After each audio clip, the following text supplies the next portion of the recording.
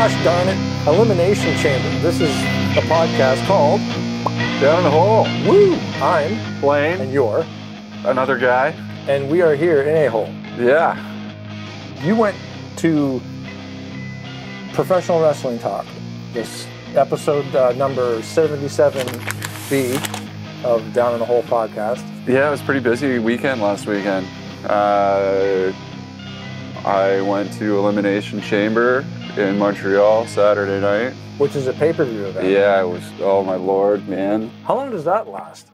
That, it was like, I don't know, three and a half hours, almost four hours maybe. Jeez. Loudest crowd I have ever been a part of in my life for anything. I've heard that Montreal has just rabid fan interaction. the way and and I mean like their hometown boy was in the main event, like Sami Zayn versus Roman Reigns. These Oh, these freaking guys stood in the ring for like five minutes just like- doing nothing.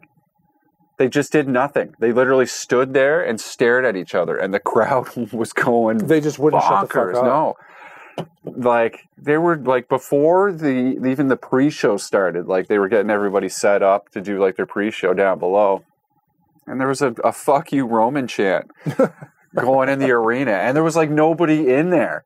like you look around at the seats. Actually, I got a video of it. It's right here. And like if you see it, it's like there's barely anybody there, but it's still loud. Wow. And if you want to hear what the crowd was like with Roman and Sammy, check And- this out and make sure you turn it up.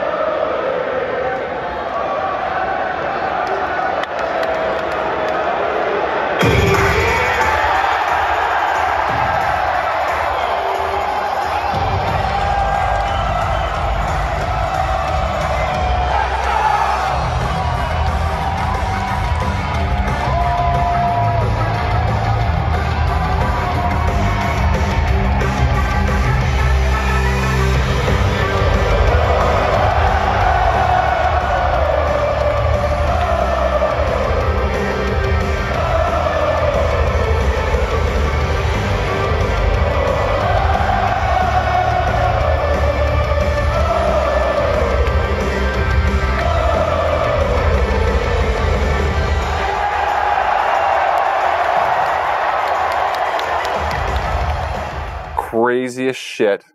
Like it was unreal. Like I had goosebumps. Like looking Fuck around you, Roman, and that whole place the was doing it. whole place. That's so funny. man. it was And insanity. that's exactly what they want, though. yeah, it was honestly like and then it elevates the it elevates the athletes in the match. Yeah. because the crowd is insane. Oh, there was some great matches. Two elimination chamber matches. Like the men's chamber match was freaking unreal. Okay, so how does an elimination chamber work? I've seen they have like a the the apron. They have the floor jacked up, yeah, and there's a cell in each corner. there's yeah, there's a pod, and there's basically there's six people in the match.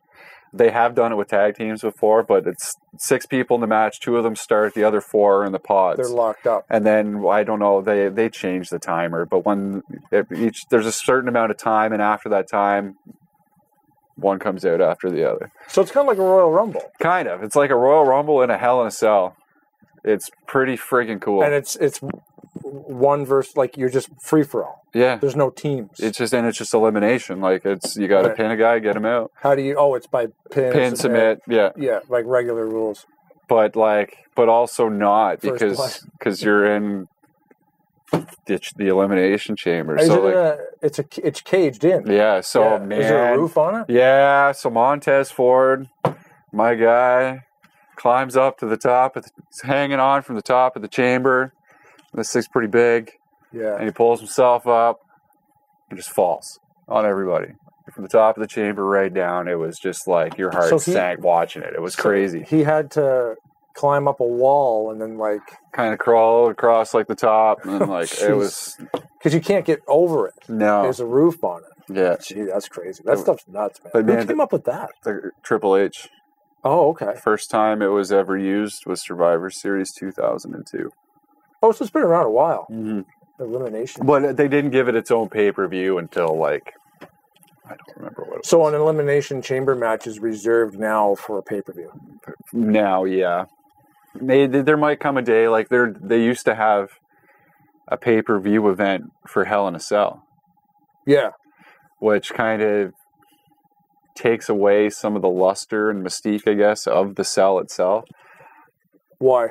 Well, because usually you save that like if a feud was really hot, like you Oh, had I a see. couple of a couple of guys or a couple of gals that were really hating on each other. Right. The Hell in a Cell was like that's the blow off. Like that's we're gonna end this and we're gonna end it right. But if you Yeah. if you have a paper like you just when you expect it at the same time every year, like it doesn't it loses its luster. right. Right. You know what I mean? Yeah, because they almost need to, to they need to set up a rivalry and bring it to the boiling point. Yeah, and Like, then okay, and then you guys you are in the cell. Like, yeah and fuck. and then you you don't have a choice but to be in the cell to have this battle otherwise like just people are going to be in the cell and they're like just it, picking two people to fight in the cell. and it, which doesn't mean like when you look back like undertaker and Shawn Michaels like when Kane debuted in that cell like that was bonkers okay. um Is that what his debut was in the Hell in a Cell? yeah, he ripped the friggin' door off the off the cage. Like Oh, that was. Kane's debut.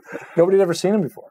No, No way. they, he had been talked about for months and months, but Yeah, nobody had seen him. And then yeah. the red lights hit, and it was sick. cool. Um, you've got Triple H and Cactus Jack.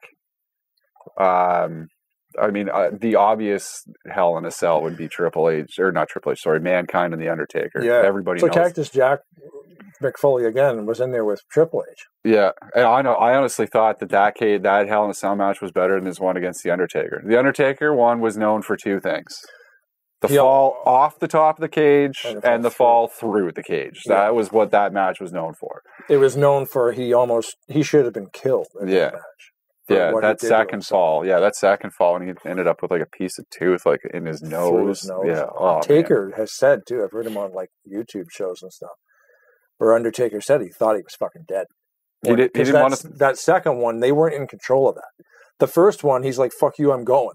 Yeah, So make it- Undertaker didn't want it- to throw him. Make it look like you're holding me, Mark. Is his name Mark Calaway? Yeah, because if you actually watch it back, it's not a hard toss. It's not even really. He's not even really touching him It was like he just kind of like guided him to it. because you don't want to throw off his. You, you have to trust Mick is going to throw himself. You don't want to throw him off. Yeah. You want him to land where he wants to land because if you fuck him up, he's going to die. Yeah, And then yeah, the other one where they, they weren't even supposed to be standing on top of the thing, and fucking what 500 600 pounds of dudes up there the thing breaks and he falls on his fucking head well, it doesn't. Yeah, and it also doesn't help that like that the roof of the cage is fucking kept together by zip ties. it's a chain link fence it's Zap straps, like nothing straps yeah there's yeah, there's nothing like metal connect. sorry, connecting those pieces of the roof together. If you actually like watch the match, they're falling through it every step they take, like you can see the zip ties snapping and flying off. Yeah. Like it's not, it was not safe whatsoever. well it but that wasn't meant to be walked on no, they weren't supposed to be up there and it's it's you they get up there, but like they don't have a pl- like how the hell are we supposed to get down? yeah We don't have a plan for this. yeah so getting down is well mick foley figured it out twice So it's like the elimination chamber was kind of like a kind of like an extension of that, uh, an, an evolution, I guess, of So- the, the cell. with you saying that it's nice when there's a huge feud and they want to put it into a cell match to deal with it. Yeah, Are they doing that with the chamber, or is it just six random people? the again? chamber is more or less the, the way it it looks to be now. The way because they've got multiple championship belts on multiple brands, so it's like they've they're you've got the Royal Rumble. The winner of the Royal Rumble gets the championship match at WrestleMania. The Elimination Chamber seems like it's it's kind of like the pay per view for like the mid card titles or the second, you know, the second level titles. Um, What's up for grabs in the chamber? this for this year, the, the women's match, it was a uh, basically it was a chance to to face I think it was Bianca Belair at WrestleMania, one of the women's champions. So kind of like a Royal Rumble in that sense. So it's for a belt. the, chance, to fight for a belt. and then the men's one was for the United States Championship. Oh, okay. So it was for like it was for a mid card So some straps are on the line, bro. the, the cool thing is, is that like Or gonna be on the line. they're you you- they're they're bringing up the lower card titles. Mhm. Like you know, a few years ago, like they didn't matter. Nobody cared. Nobody could even probably name half of them. But now, like that was that United States Championship match was a main focal point in that pay per view. It's looking like one of the nights of WrestleMania. It's going to be a tag team match headlining, which has never happened. Oh, really? Yeah, They've never had a tag belt on the line at WrestleMania. not not headlining, yeah. not your main event. Main event, last fight of the night. But this is going to Why? be Sami Zayn and Kevin Owens versus the Usos because like Vince McMahon never wanted to book tag teams. I personally, I don't think he he didn't want. Well, he didn't. He didn't want to pay four guys. oh, okay. Basically, you could have a one on match, a one on one match. Sorry, he'd only have to pay two guys. You put on a tag team match, he's got to pay four guys now. Yeah. He didn't like doing that. Tag team matches are so good, though, man. I know, but so like now the Triple H is in charge of creative. It's like there's actually a focus being put on those guys, Yeah. and those girls. So it's it's nice to see. But yeah, so the Elimination Chamber was sick. The drive to Montreal to the Bell Center, at least coming from like the west going east, was the easiest drive ever. Man, you're just you're on the 401, and then and then you're in Quebec. And you make, I swear, you make a left hand turn and a right hand turn, and you're freaking at the arena. Oh, Like, cool. it was the easiest drive Yeah, I've been there. very polite people. Like I've been in some wrestling crowds and there's been some douchebags around, but like I think Everybody's there to have a good time. and everybody was there for Sammy. Nice. It was like every everybody was just yeah, they were all And he's a Quebecer? yeah. Yeah. Fuck, man. And he's not going to beat Roman. No, but but man, but, man, they gave you the feeling that there's a chance. yeah, that's the You knew it's not going to happen, but there was parts in that match where you're like, Maybe they're going to do it. Can. Maybe it's possible. Because Like, you're thinking about it too. The guy's in his hometown. What better spot for him to take it? Oh, like the pop would have been astronomical. Oh man, here's the thing. The pop like the pops were astronomical all night. Like I said, like from beginning to end, the crowd was just bumping until Roman pinned Sammy, and I swear it was like all the oxygen oxygen got sucked right out of the arena.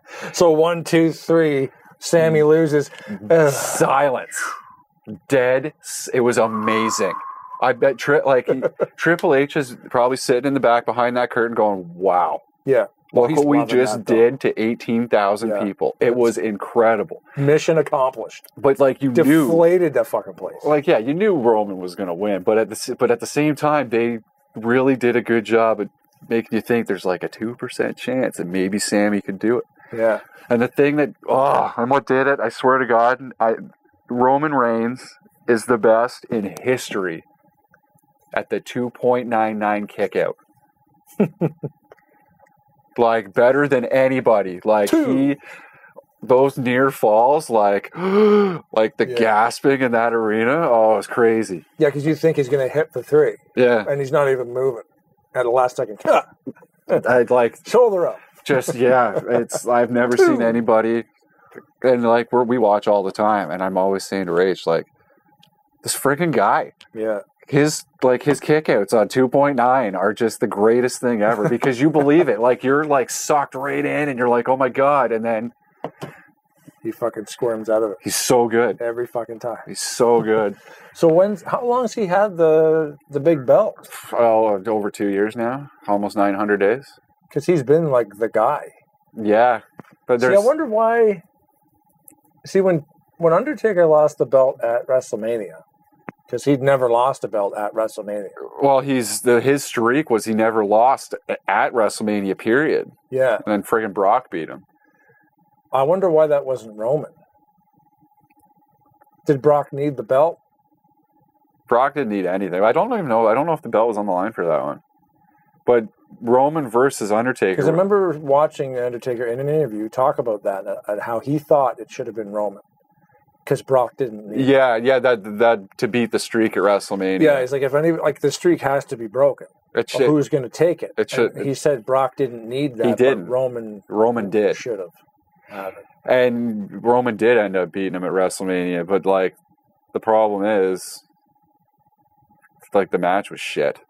Oh yeah. So like and like Undertaker like left his gear in the ring, like that was his retirement. He was saying goodbye and then he watched the match back and was like, Nope, Oh yeah. I can't end like that. Nice. Nope. Oh, so he came back after he Mhm. apparently retired.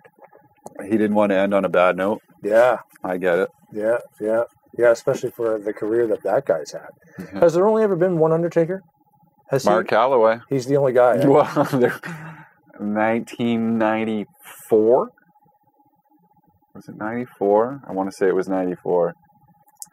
Yeah, because Undertaker wrestled Yokozuna at the Royal Rumble. Rest in peace, Yoko. Uh, yes, rest in peace. Um, and then he, I think he was like healing up from some injuries and stuff, so he took some time off. Ted DiBiase, the Million Dollar Man, Yeah. brought back the Undertaker, Oh God. But it was like fake Undertaker. Yeah. So then at SummerSlam '94, the real Undertaker wrestled the fake Undertaker. Oh, Sounds, I know it's cheesy and corny as shit, but it was, I mean, it was. who was the fake guy? Just a I lookalike? got, yeah, well, kind of look alike, but yeah, it was. uh I kind of lookalike. But They that- even try it. But other than other than Was that, it purple tie Undertaker? Was it? that was around purple tie Undertaker. Yeah. yeah. Um, but yeah, I mean, Mark Calaway's always been the Undertaker. There was Hmm. just fake fake taker there for that That's little bit. That was really hilarious. funny. Good times. So you did the Elimination Chamber pay per view, and then you did like the next day or two later, you you did Raw. Yeah, I took my son, my eight year old, to go and see Raw live, and it was, frig, it was awesome. It was in just Toronto. Ottawa. Oh, Ottawa. Yeah, we took the scenic route, took Highway 15. That's way better. It is way better. It's shorter, nicer drive, doesn't It's- feel as long. They're like, oh, it's faster to go this way. I'm like, no, it's not. No, 401, if you actually look it up, the 401 way is like an extra 45 kilometers and it takes you like around. Yeah, Like you're you, you're not it doesn't yeah. Like if Ottawa, like if you're, you know, Ottawa's here and Kingston's here, you're going kind of past and back. Yeah, and let me tell you, But they're they're looking at, oh, the speeds are faster. I'm like, yeah, but doesn't do you really want to drive 125 kilometers an hour all day? Like, just go for a drive up 50. No, but it's about the same time, and that's sticking to the normal speed limits, like when you're on Um, 15. yeah, so why not just go slower Yeah.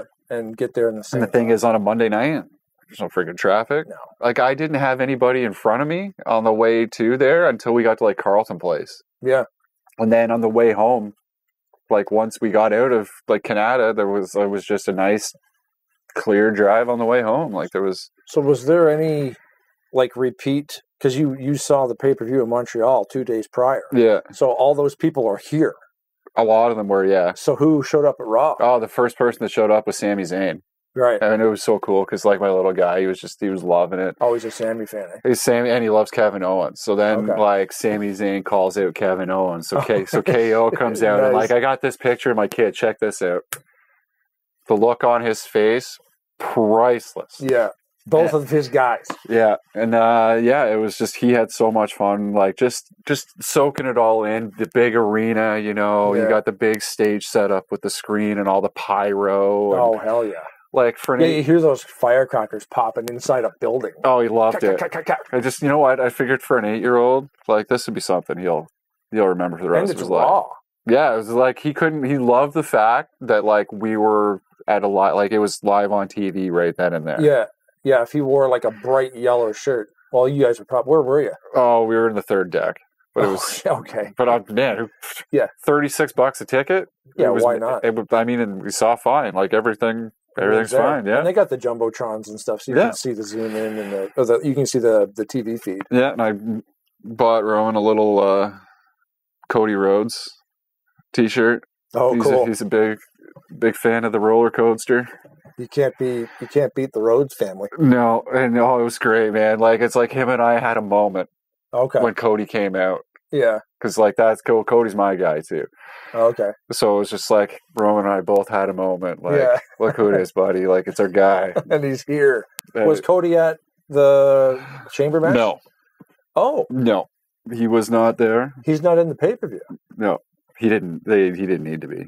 Yeah. You had uh, like the women's chamber match, the men's chamber match, uh, Roman versus Sammy, uh, Brock Lesnar and Bobby Lash. Let me tell you, Wow. two two beefy boys slapping man beef right there. It was Yeah. just two big monsters chucking each other around. I loved it. It was such a Bobby sick match. Lashley and fucking Brock Lesnar. Holy shit. Yeah, those was- two di- those two guys look like they're fucking cut out of marble, but together they probably weigh six hundred and fifty pounds. it was man. What's it their combined weight? You think if I'm just guessing, they got to be I- three hundred pounds apiece? yeah, it's got to be around six, 550, 600 pounds for Yeah. sure.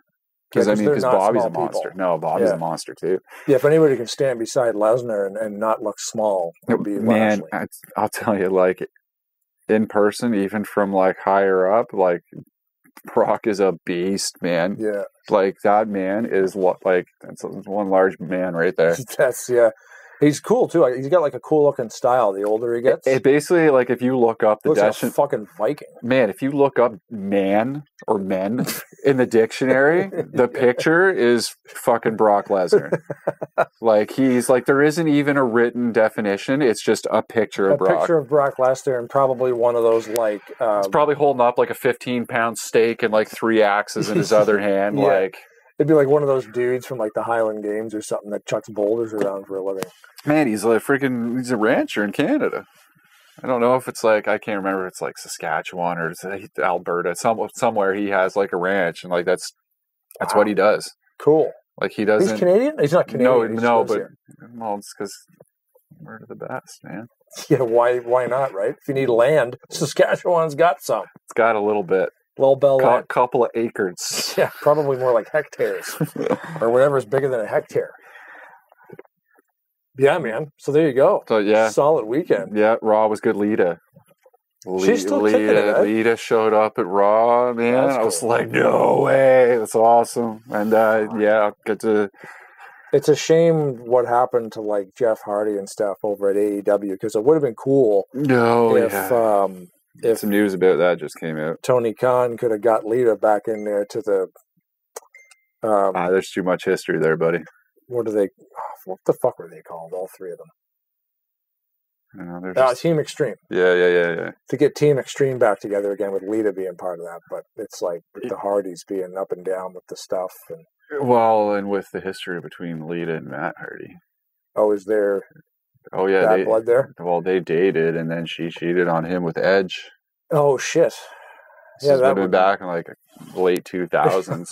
Fuck. So there's some, and like that's like not story. Uh. I mean, they ended up bringing it into a storyline, but it didn't start out that way. No, Yeah, that's a whole other show. you know, sometimes in, in wrestling terms, some people will work themselves into a shoot, and in the odd case, it works backwards, Yeah, which makes for some pretty interesting television. I'll tell you. yeah. But yeah, it's uh, this bloodline storyline. It's like, like both the kids are into it. Like even my daughter's been oh, been really? watching. Yeah, she's been getting into it too. It's like it's this bloodline storyline deserves an Emmy What's- as far as I'm concerned. That's the Roman Reigns, Paul Heyman, the Usos. Like if you, Oh, Bloodline is like his crew. that's, like what they that they're call yeah, and like it- this storyline deserves an Emmy, bro.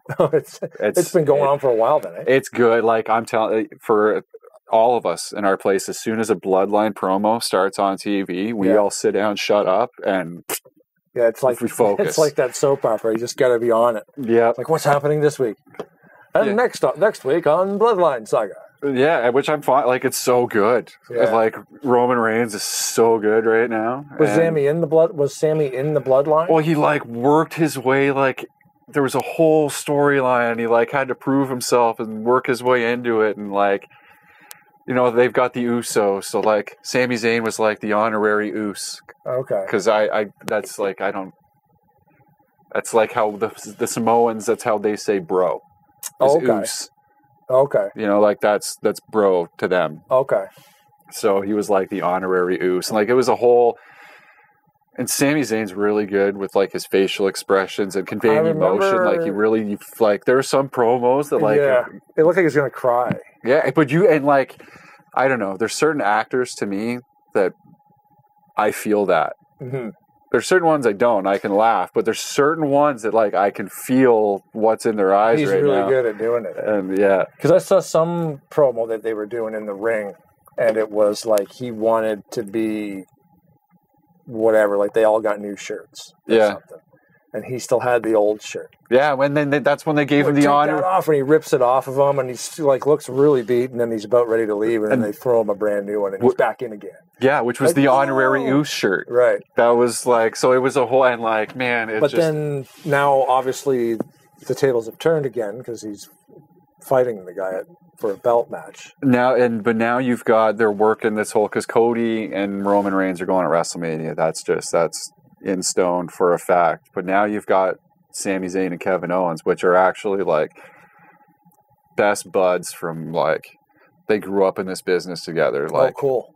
so they had like they're like best friends. So now they get to come back around, and their story's coming full circle, and they're coming back as a team. But they're also trying to like destroy the bloodline at the same time. So it's like a bunch of different things going on at the same time. That'll be, from what I've, I've heard you talk about, the bloodline storyline. it's so good. And how strong it is and all this stuff. Make it like having that alliance crumble is going to be amazing. That and that's like Who can get in there as the mole and tear it apart from the and that's inside? what they're trying to do. But like so far, like no one's been able to get to Roman, and it's friggin' glorious, man. cool. It's like the and- fall of that is going to be amazing. I know. How are they going to fucking pull that Oh, off? I don't know, Trip, but Triple H knows what he's doing. Yeah, and they can't fuck that up. It can't just be a one show. Holy shit! It's going to be pick, pick, pick, pick. Yeah. pick.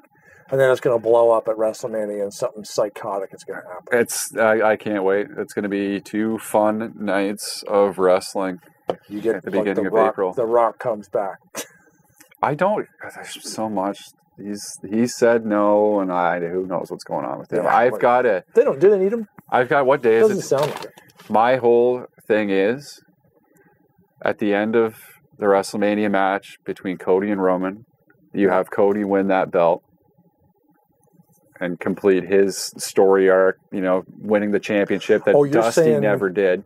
So you're saying Cody at or Cody at the Royal Rumble won, Yeah. earns his right to fight Roman for a belt at WrestleMania. Yeah, so could you see could you imagine them taking the belt off of Roman at the chamber and putting it on Sami Zayn? Like Sami Zayn versus Cody Rhodes is sorry, that's not a headlining WrestleMania match to me. Mm, No. not when you want to sell 80,000 tickets.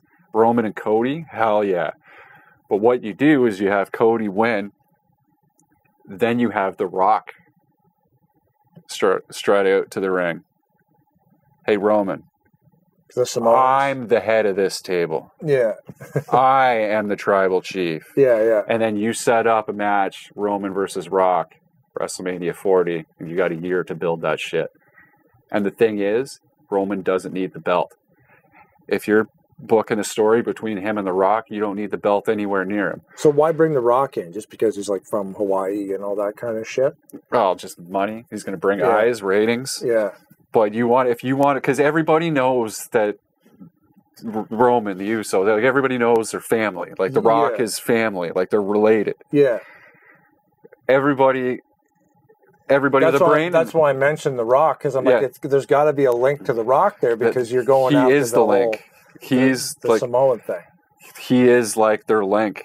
Like he's like Roman's connected to the Usos. He's connected to to Roman. He's connected to uh, Tamina, who's another uh, female wrestler. Like he's con- that his the Anoa'i family is like uh, Yokozuna Oh yeah. part of the family. Yeah, like it's huge.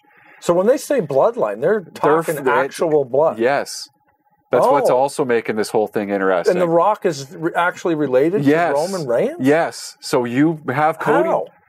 I don't know. Like they're cousins yeah, or some shit? Yeah, like Oh fuck! I didn't know that. so you have Cody win the belt at Mania, Okay. and then he can go off and he can have a, a he can go against you know Randy Orton. He can do whatever, but then like you can start this hardcore tribal chief bloodline story Oh between Roman Reigns dude. and The Rock. That would be fucking crazy.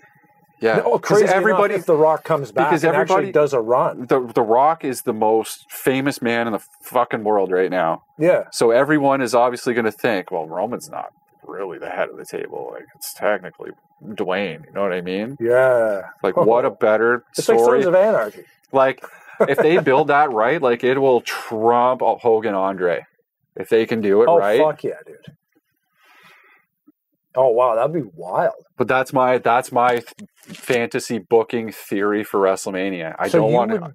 I, I don't want to see The Rock at all until No. the end of Cody and Roman, and I want The Rock to come If out you're so blah, blah, blah, like that- because Roman's the heel, right? imagine the fucking people in that place if they hear that Yeah. theme song. And especially because you're already booking Roman And he comes out in heel. his fucking Adidas track pants and it's just like fucking sniffing the wind and shit. You smell what he's cooking? Yeah. Yeah, that Imagine table, that. Holy fuck, dude. that table that you're the head of, that's my table. Mhm.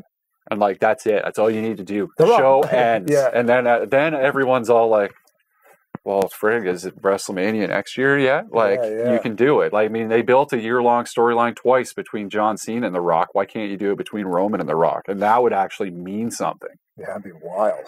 Yeah, man. Like the Rock has been gone for a little while, but the Rock is back.